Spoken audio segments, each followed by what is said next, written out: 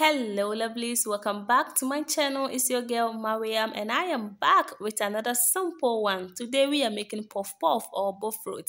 If you're new to my channel, you are highly welcome. Now let's get started.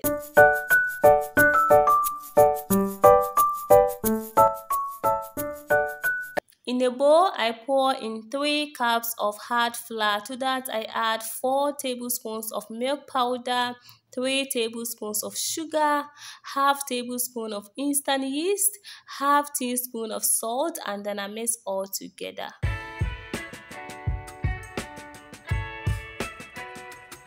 Here I add 320 ml of cold water and then we stir all together till we get a sticky dough okay?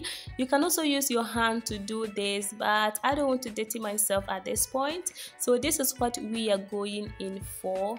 You stir it well to make sure that there are no any lump in here okay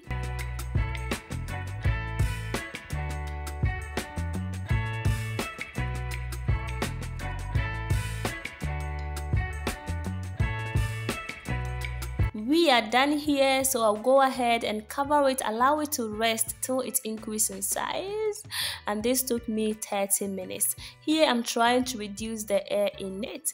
Let me show you how to scoop and drop in the oil. I scoop an amount i can handle and then i squeeze it through my index finger and my thumb. So this is how i do mine okay? Now let's go and fry our puff puff before you start dropping your dough into the oil, make sure that the oil is well heated, okay? You can also use onion to test the oil first before you go ahead and drop in your dough, okay? And as soon as you finish dropping in the dough, begin to turn your puff puff. Don't allow one side to fry completely before you turn it, else one side will overweigh the other and you cannot fry your puff puff evenly. You can see that i'm using my left hand here because i'm the only one. So after i turn it i'll go and wash my hand and then use my right hand to do the turning.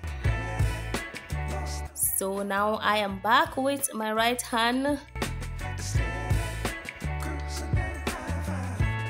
to know that your puff puff or bofrot is ready. As soon as it starts to turn golden brown that means that it's ready. You can go ahead and remove it from the oil. So at this point our puff puff or bofrot is ready. We can go ahead and remove it from the oil.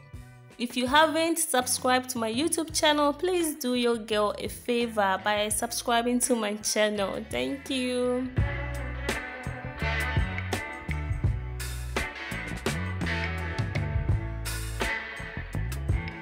Hello there, I present to you our bofrots When it comes to the sizes, that one depends on you. I prefer these mini ones. You can also make bigger ones if you like, okay? And this is very hot. Most of times we pair this with Hausa porridge. Hope you are going to try your hands on it. Thank you for watching. Please like, share and subscribe to my channel. Until I see you on my next video, please stay blessed. Bye.